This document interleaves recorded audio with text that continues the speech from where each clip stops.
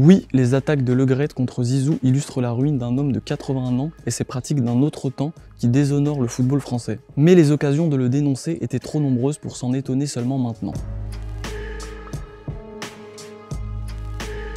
Après plusieurs mois de gestion cataclysmique traversée par diverses polémiques, le président de la Fédération française de football, Noël Le a enfin pris la parole pour s'excuser. Pas pour avoir fermé les yeux sur le racisme ou l'homophobie qui gangrènent le monde du football français, pas davantage non plus pour l'harcèlement sexuel qu'il aurait fait subir à certaines employées de la Fédération française. Si Noël Le a présenté ses excuses ce matin, c'est pour, je cite, les propos maladroits qu'il a tenus dans une émission radio au sujet de Zinedine Zidane.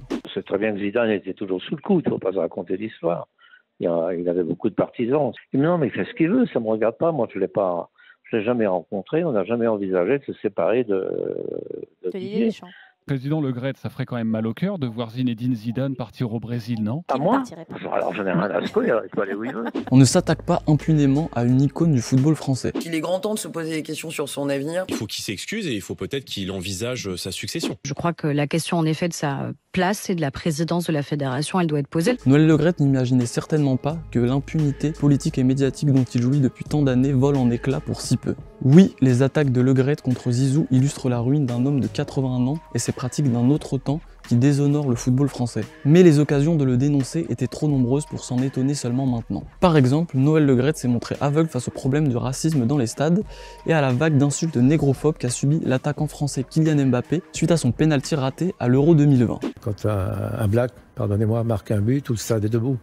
Donc non, très franchement, euh, le phénomène racisme dans le, dans le sport et dans le foot en particulier euh, n'existe pas. Sur la lutte contre l'homophobie qui sévit dans les tribunes, le patron du foot français n'a pas semblé davantage investi. Il s'est même insurgé contre l'arrêt des matchs en cas de chant homophobe. Et il considère effectivement que le football est homophobe et peut être euh, l'image seulement d'homophobie en France, c'est quand même un petit fort de, fort de café, j'accepte pas. Plus récemment, il s'est même vanté d'avoir obtenu l'abandon du brassard One Love, symbole de lutte contre les discriminations.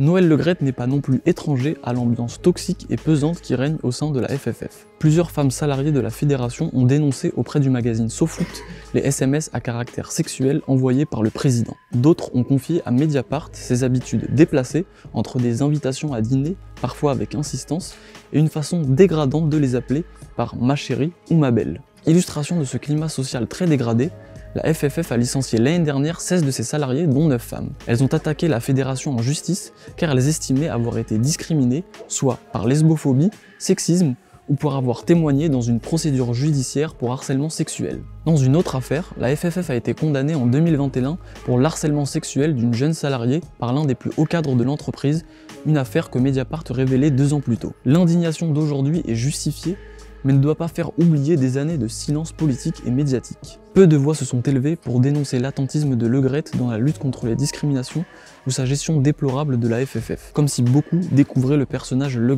avec ses propos sur Zizou. Pour démontrer la complicité coupable des dirigeants du football français, nul besoin d'aller chercher bien loin. Par exemple, en mars 2021, Noël Le était largement réélu à la tête de la Fédération française de football avec 73% des voix, prolongeant un règne long de 4 mandats. Avant la tempête médiatique d'hier, Noël Le a longtemps paru intouchable, soutenu par les représentants du football amateur, mais aussi par les grosses têtes du foot professionnel comme le puissant président de l'Olympique lyonnais, Jean-Michel Aulas. Soutien des instances et des personnages influents du foot, mais aussi au plus haut niveau politique par le ministère des Sports, autorité de tutelle de la Fédération française de football. Les ministres qui se sont succédés depuis 2011 n'ont jamais osé mettre en cause la mainmise de Le Gret sur le foot français, jusqu'à ce que débarque Amélie Oudéa Castera en mai 2022 et tente de faire bouger les pratiques au sein de la fédération.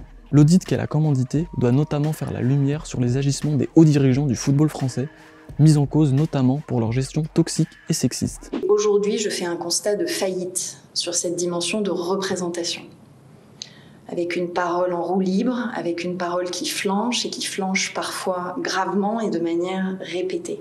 On ne peut pas continuer dans une situation euh, où il y a autant de sorties de route, où il y a autant euh, de propos euh, qui choquent Didier Deschamps, l'autre personnage clé du football français, devenu au fil du temps le fidèle acolyte de Le a toujours fait preuve d'un soutien indéfectible envers son président.